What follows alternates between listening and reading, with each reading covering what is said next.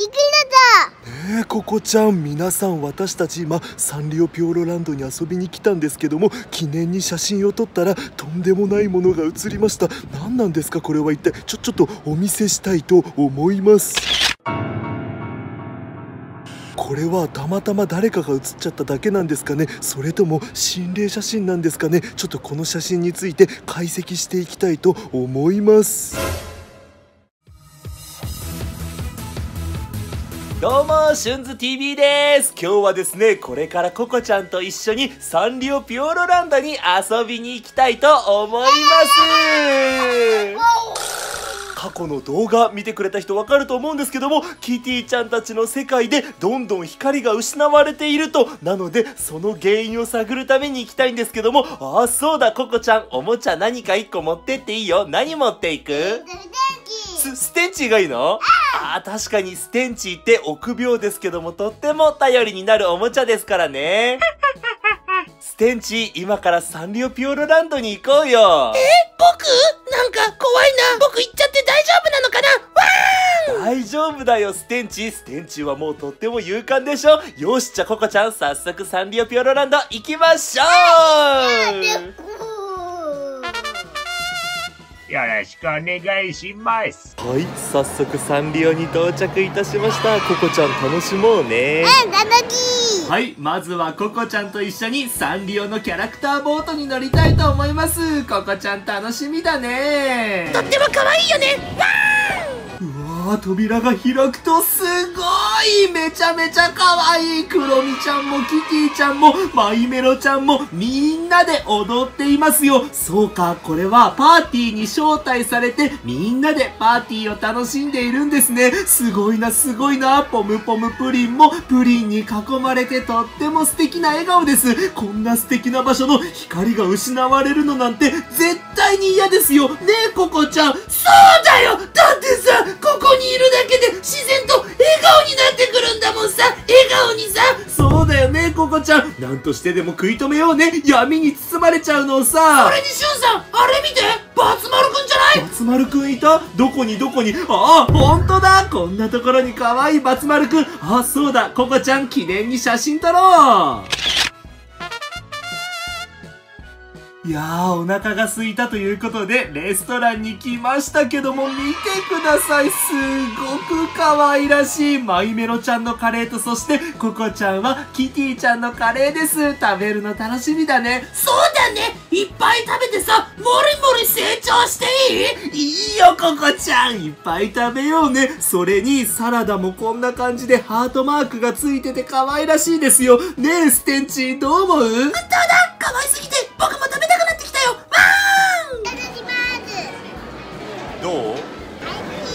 しいマイメロちゃんのカレーいただきます。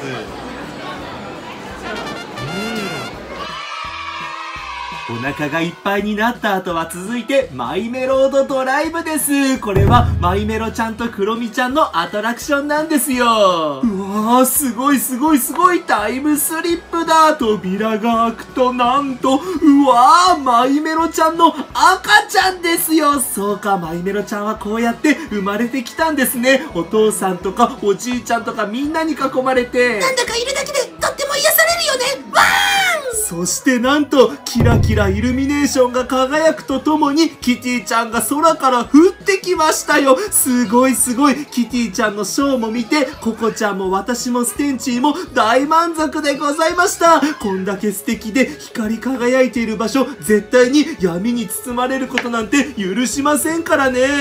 よろしくお願いします。いやーココちゃんサンリオとっても楽しかったね。楽しかった。あそうだココちゃん。サンリオの外でも記念に写真撮ろっか。ちょっと待ってしゅんさん。誰が誰が写真撮るの？わー！んいやもちろんステンチーに写真撮ってもらうんだよ。僕にできるかな？わー！ん写真撮りますよ。はいポーズいやーココちゃん一緒に写真撮ったね。ステンチー撮ってくれてありがとう。しゅんさん、ちょっと待って。さっきの写真確認してみて。ちょっと僕の見間違いじゃなかったらとても怖いものがーんえステンチーどういうこと？ちょっと写真見てみるね。ほ、本当だ！い、一体これはどういうことなの？ちょっと僕にも原因がわからないんだよ！わちょ、ちょっとココちゃんどうする？ちょっとさ、気にすることないんじゃないの？みんなで明るく行こうよ！いやーどうしようどうしよう。さっきの写真にもしかしこれ？て。シュンさんこれ見て！これ？え？ー、わわわわわわちょちょちょちょっと待って！ココちゃんそれどうしたの？急に現れたんれたの。ああ、そうだ、ステンチ、ひっくり返ってる場合じゃないよ。よいしょと、この子はなんて言ってる？このポチャッコは言ってるんだ。松丸くんやキティちゃんたちが全然戻ってこないから探し歩いてたんだって。そしたらたまたまシュンさんとココちゃんを見つけたみたいなんだ。わーんそうか、そうか、ぽちゃっこ。ちょっとずつ光が消えていくのに対して、ぽちゃっこもきっと怖くなってきたんでしょうね。ちゃんまさかのポチャッコが現れてくれましたよ。ああそうだ。家に帰ったらキティちゃんと仲間たちがいるから会わせてあげたいですね。そしてココちゃんサンリオ楽しかった？楽しかった。ねえココちゃん。サンリオはすごく楽しいから光が消えてほしくありませんね。引き続きその原因を探っていきたいと思います。それじゃあ皆さんまたお会いしましょう。さようなら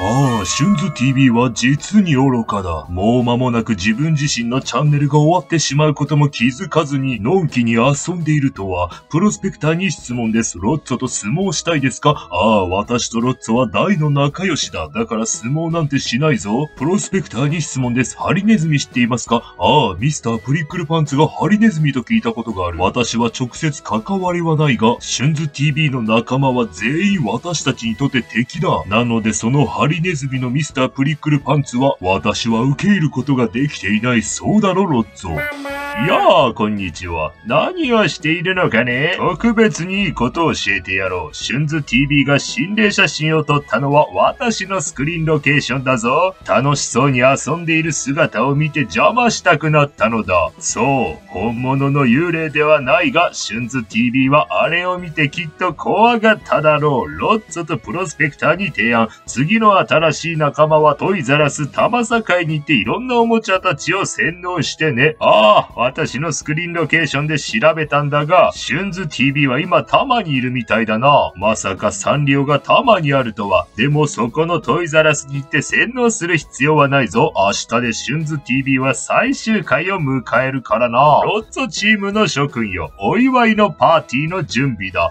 ああ、そうそう、ここまで行ってもシュンズ TV を応援したい奴はチャンネル登録をした方がいい。ただし、私にとっては敵だがな。どちらか選べさ、どうかね？